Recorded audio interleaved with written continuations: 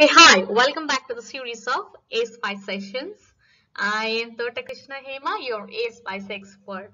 So today we are going to discuss about level 3. So in the previous topic we have discussed about level 2 and in this one like we would like to discuss about level 3.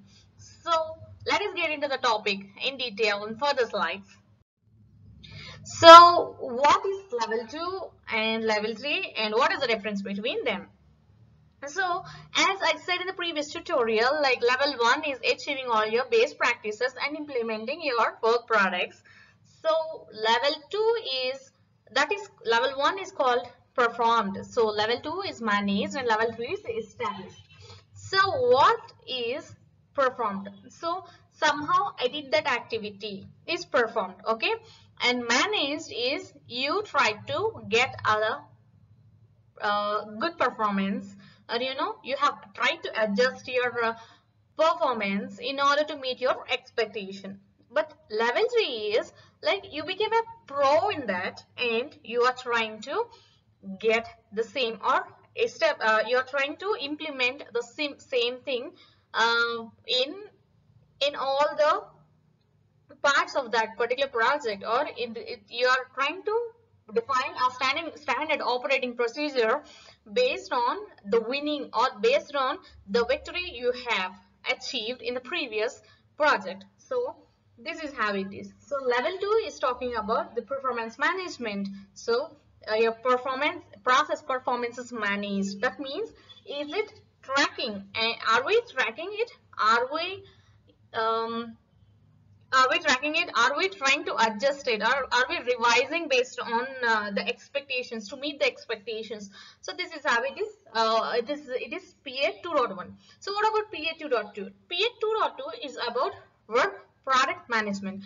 So how you are going to manage the work products? It is like you have to uh, provide a naming convention for that version control access control and uh, you have to have the reviews in place and you have to have a, baselining mechanism and you need to define uh, the means like you know how to the con complete configuration management plan or configuration management activities comes into the picture in PA 2.2. Okay, we are done with level 1 and level 2 as well. So what about level 3? Level 3 is is about establishment of the process. So PA 3.1 is talking about process definition. So this means uh, a standard process is defined. So do we have a set of standard processes or do we have a particular SOP which is defined for this process? Okay. And PA 3.2 is talking about process deployment. So you have developed a process. You have written some document. Okay. You need to communicate that I have already a well-defined process in place and you need to implement it in your project. So that's when like you need to provide an awareness training or you need to uh, provide a training on implementation of it. You need to facilitate the team like you know when they are really implementing okay?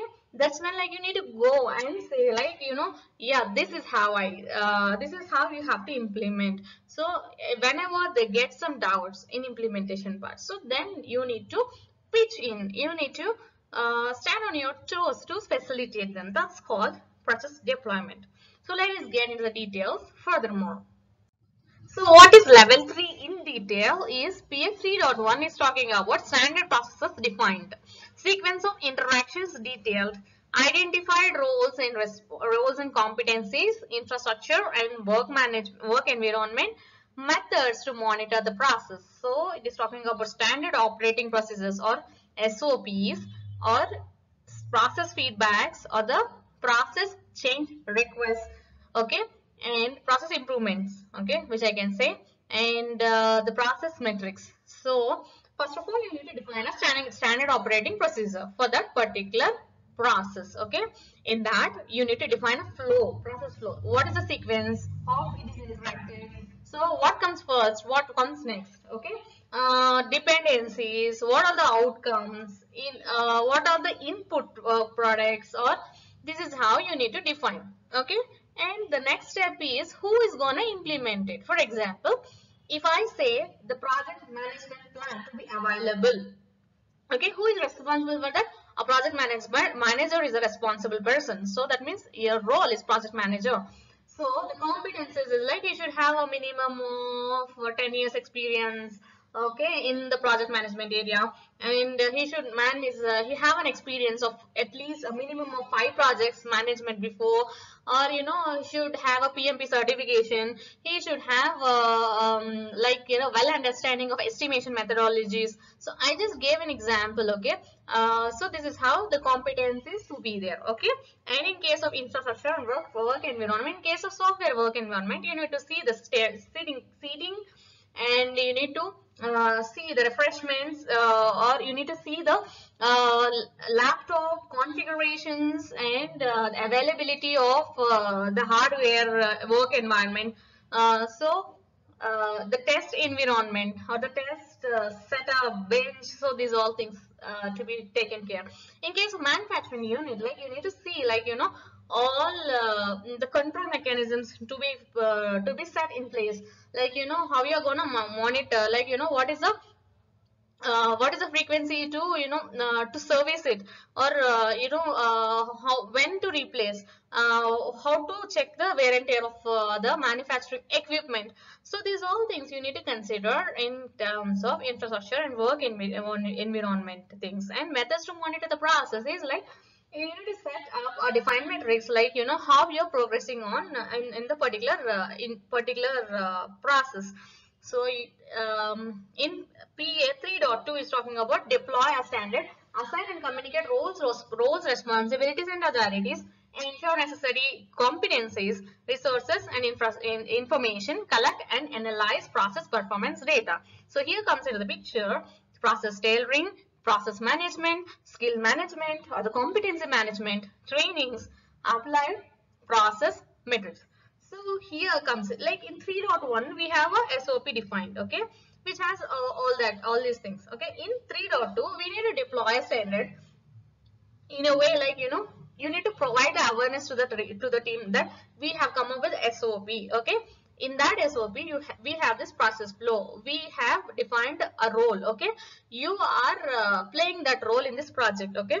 And you are responsible for these things. And you are authorized to you know um, uh, to accept this release okay? To accept uh, this particular review check okay? This particular uh, inspection you are authorized to uh, approve it kind of and we need to ensure on the competencies required. For example, uh, you should have uh, a C++ certification. Okay, you should have uh, a good understanding of uh, database management. So you should have uh, uh, a good understanding of battery management. So this is how it is like the competencies. So in the competencies also you have a, a scale level. So 0 to 10, 0 to 5, something like 0 to 3 like you know uh, the maximum level is the pro level and the minimum level is like you know it is a beginner level. So you should have a predefined set of competency for this particular requirement of the project okay? And then next is resources and infra in information. So you need to have a data. You need to collect the data. You need to analyze. First of all you should have a data. You should collect it and you should analyze it. And you will get to know the performance of the process okay and uh, here comes to the picture like you know based on the requirement of the project so your uh, set of standard stand SOPs okay? Your SOP will be tailored based on your requirement. For example if you are if you are if a project is responsible for design so all the design related activities will be applicable to your project and the rest all um, life cycle processes like the requirements or the testing or um, the coding part or your uh, manufacturing part, your certifications part, these all will be not applicable for your project. Okay. Let us get into the detailed generic practices of this level 3. Okay, 3.1 is process definition, pro, uh, process definition, process attribute. 3.1.1 generic practice is talking about define and maintain the SOP that will support the deployment of the defined process. 3.1.2 is talking about determine the sequence of interactions that means workflow of the process. Okay, 3.1.3 is talking about roles, competencies, responsibilities, authorities of that particular standard process. 3.1.4 is talking about identify the required infrastructure and work environment. Okay. 3.1.5 is talking about de determine suitable methods and measures to monitor. That means you need to define a define a set of metrics for, which are applicable to monitor the process. So what about 3.2? PA 3.2 is talking about process deployment, process attribute. Okay, this means it is talking about entire process deployment. How you are gonna release the process, how you are gonna adopt the process, how you are gonna deploy the process. Okay, so in the 3. Dot, it it's it has six uh, sub processes or the generic practices uh, in place. So GP 3.2.2 is talking about deploy a defined process that satisfies the context specific requirements for the use of the standard processes. So that means first of all you need to define the process means we need to tailor the process. Here it is it, it is exactly into. 3.2.2 is talking about assign and communicate. So you are responsible for this role you are this role you are responsible for these things. You are authorized to approve it you are authorized to review it you are authorized to you know you are an author of this particular uh, document or the particular uh, activity kind of okay? You are going to perform it these kind of things. And 3.2.3 is about ensuring necessary competence. You need to maintain a competency matrix, okay, or the evidence of competence in case of uh, ISO 26262. But in uh, in normal terminology, it is competency matrix or skill matrix, okay. And 3.2.4 is, is is about provide resources and information to support the performance of the defined process. So we need to assign the resources. So either it is hardware resource, either it is a human, uh, it is uh, it is a human resource. We need to allocate it we need to uh, we need to allocate him or her like you know you are responsible for this thing kind of. 3.5 is saying about provide adequate process infrastructure to support the performed uh, so we have uh, we have come up with uh, a proper infrastructure and work environment. So all this infrastructure complete infrastructure may not be required for your project okay? All your work environment related things like you know which may not be applicable.